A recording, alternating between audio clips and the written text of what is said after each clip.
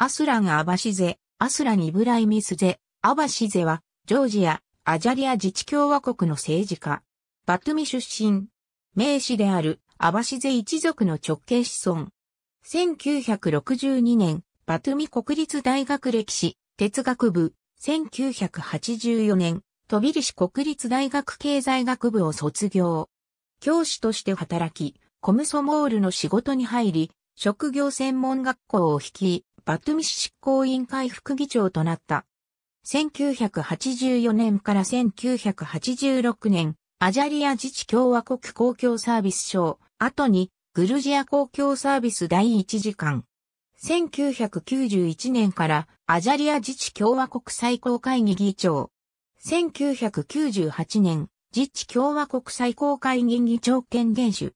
1991年、全グルジア再生同盟党を設立。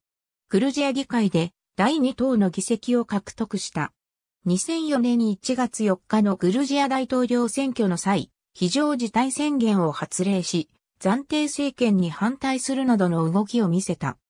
3月28日、議会選挙でミヘール・サーカシュビリを主犯とする国民運動が圧勝したが、アバシーゼ議長は選挙結果を認めず、グルジアとの交通路を封鎖するなどの措置を取り、中央政府との関係は一触即発の状態となった。5月5日、ロシアのセルゲイ・イワノフ国防相がアバシーゼ議長と会見し、辞任を勧告した。これにより議長は同日中に辞任し、ロシアに出国した。